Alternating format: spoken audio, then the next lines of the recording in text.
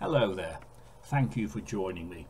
This time we're going to have a look at a very interesting kit, the Infinity Models 132nd scale offering of the SB2C Helldiver. Let's see how it does. The release of the Infinity Models 132nd Helldiver kit in late 2021 was interesting in two respects.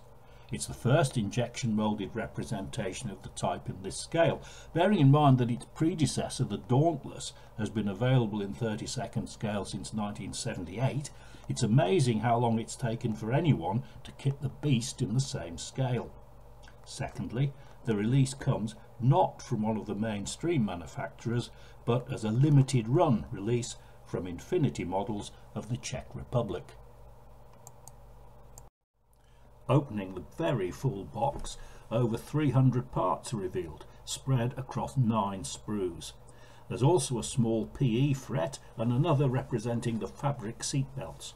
Close inspection of the parts showed good surface detail, a mixture of engraved and some raised, which was well done and looked effective. On the other hand, the overall standard of moulding was mediocre. Prominent mould seams were evident on virtually every part and detail was not as sharp as found on most modern mainstream kits. You can see here the decal sheet which is extensive although in the end I didn't use much of it. The very good fabric effect seat belts with etched brass buckles so often missed out from large scale kits but definitely included with this one. Good quality transparencies, nice and clear and crisply moulded, and a good supporting cast. Dead design masks, colour coat paints, MIG weathering, and the MRP lacquer all performed well during the course of this build. Construction begins with the front and rear cockpit interiors. It was immediately obvious that a lot of cleaning up would be required before any meaningful assembly could begin, and a lot of parts were involved. Many hours of work were necessary to clean everything up, and the IPMS seam removing tools had considerable employment, being ideal for this sort of work. Once the parts were cleaned up, they looked a lot better and some assembly could begin. The fuselage halves were well moulded and detailed, but had no locator pins around the edges, common feature of short-run kits.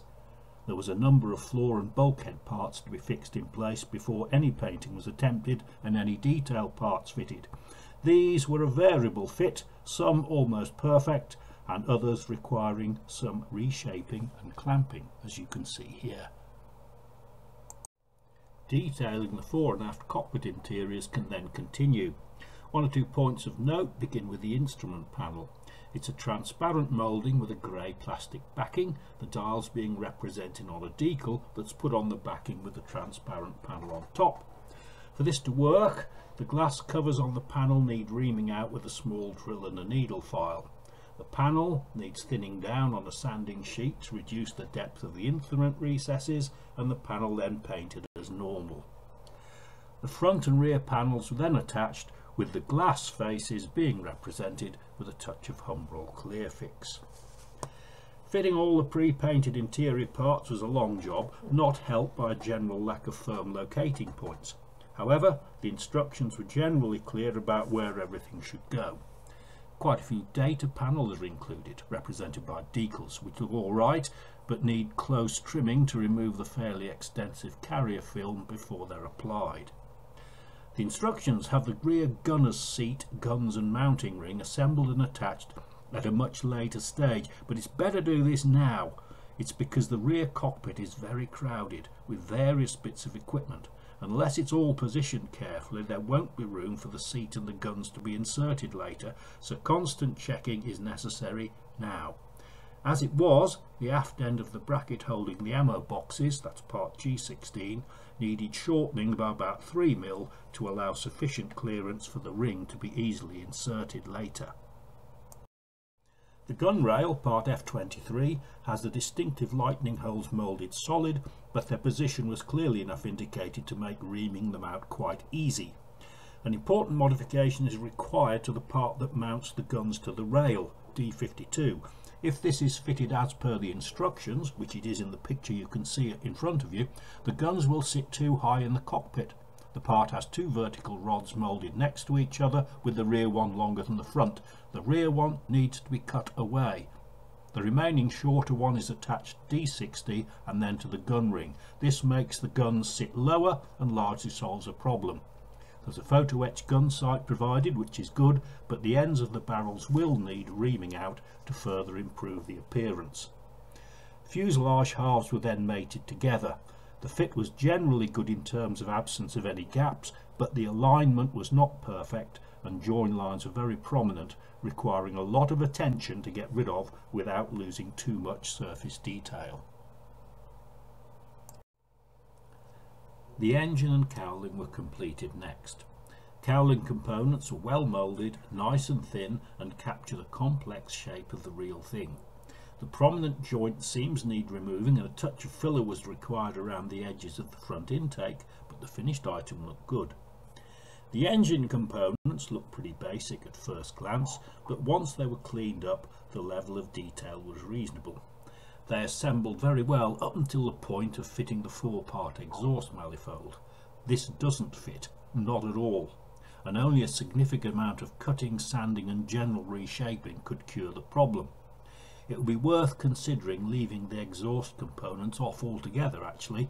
Even through the open cowling gills they're not really visible on the completed model and it would save a lot of work. No ignition leads are represented in the kit so these were included using fine strands of round section rubber. Attaching the leads in the correct firing order is not that difficult as there are plenty of online pictures of the real engine to show how they go. It was a fiddly job but it looked good when it was finished. The wing assembly proved a major chore. Things started off okay as the upper wing halves mated well with the fuselage after a bit of gentle reshaping. However, some problems soon arose. Dry fitting of the lower wing halves showed some alignment issues with the upper halves. Also, fit with the fuselage, although good along most of the chord of the wing, was very poor at the root leading edge.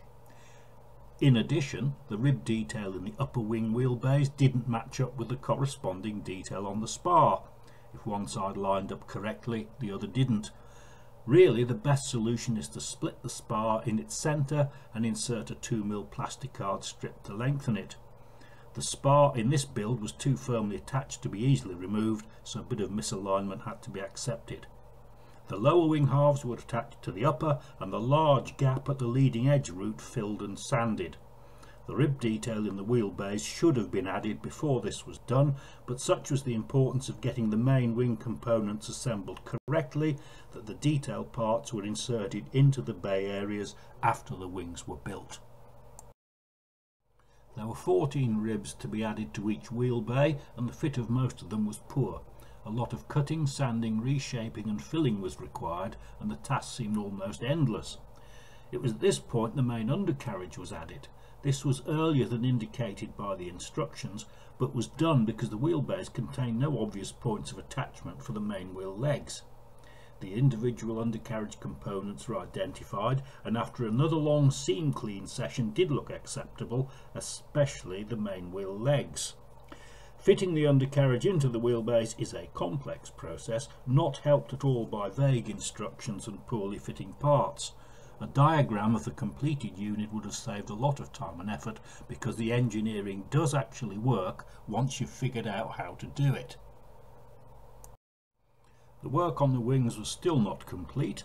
The bomb racks and rocket launching points need adding next and as no holes are provided these all need to be drilled individually. The instructions recommend a 1mm drill but a 1.5 gives a better fit. The drilling points are clearly indicated though. The dive flaps were fitted next and again there were some issues. The complex pattern of the perforations on the flaps was a distinctive feature of the SBC-4 and the plastic parts just about adequately represent that but some trimming and reshaping was necessary to get them to fit particularly at the wing root. At least though once this is done the tail planes are added and the basic airframe is almost complete. Hooray! The various cockpit transparencies were painted at this stage as several of them need to be fitted to the fuselage before the main paint scheme is applied. The parts are nicely moulded and very clear and the hard work of masking all those frame lines is greatly eased by the Dead Design canopy mask set which worked very well. The other set, which provides masks for the wheel wells, also proved most useful. The transparency is fitted well, with the exception of the windscreen. This did take a long time to get right, and care is needed to ensure that it gets aligned correctly. Painting the model is reasonably straightforward. I chose an aircraft from VB83 in the usual three-tone scheme. Uh, the overall coat of Halford's primer revealed quite a few blemishes to be cleaned up. Once these were done, surfaces were rubbed down with a soft polishing cloth and the dark grey pre-shading of the panel lines applied. The top coats, the colour coats, performed well, gave good coverage, no clogging at all. Uh, colour coats suggest various thinners can be used, particularly their own, However, I use cellulose thinners in this instance and they seem to perform perfectly well. A mixture of three parts thinner to two parts paint gave the best results incidentally.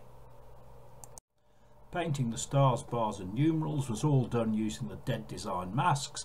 Uh, they went on very well.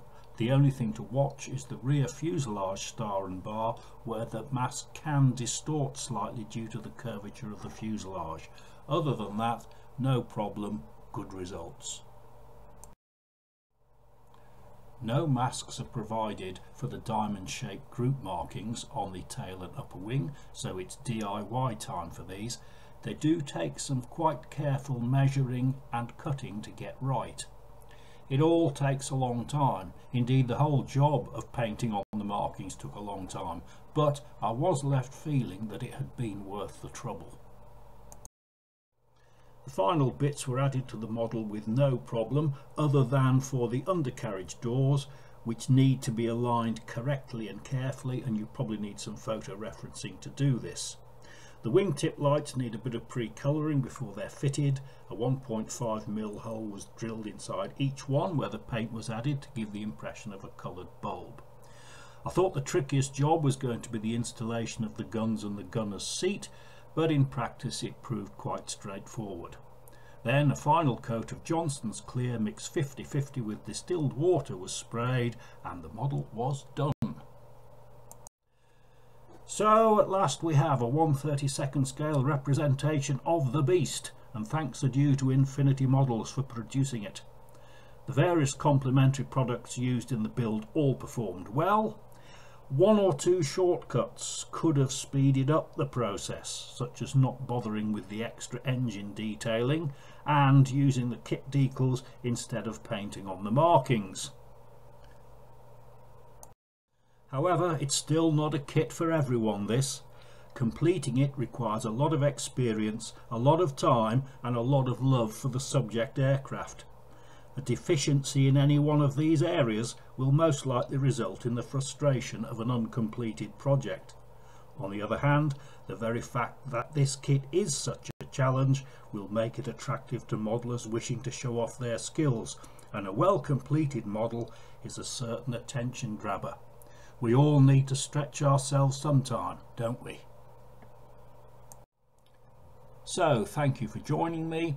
I hope you found the presentation interesting and useful and that you'll feel free to join me again for my next presentation which will be a build of the border models BF 109G6 in 135th scale. Thank you again and goodbye.